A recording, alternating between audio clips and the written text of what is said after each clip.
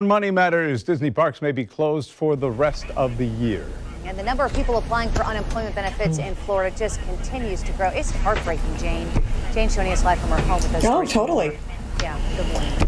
It is absolutely heartbreaking and really not a lot of clear end in sight to this. We don't know when uh, these things are going to be open and back up and running like normal again. Now, Florida was the most impacted state in the nation in terms of jobless claims. WalletHub says it saw an 8,400% increase in claims compared to a year ago. A half million Floridians applied for unemployment benefits last week.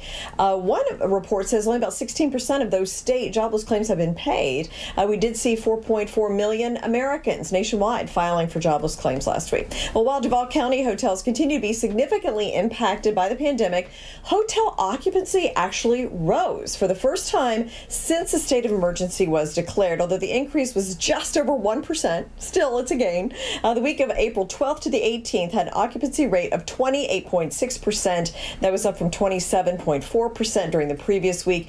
Downtown was about 16% occupied occupied. Beach hotels slightly better with a little more than 20% occupied. Well, the doors to Magic Kingdom may not reopen till next year due to social distancing measures. Uh, Disney closed Disneyland in California, Disney World in Florida on March 12th.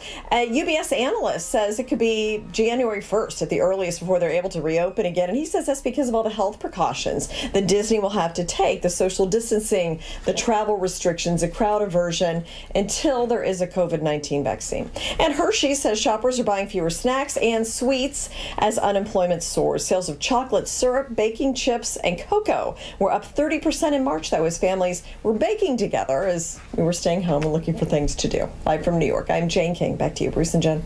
We're doing a lot of baking in our house, that's for sure. Thank you, Jane. Have a great weekend.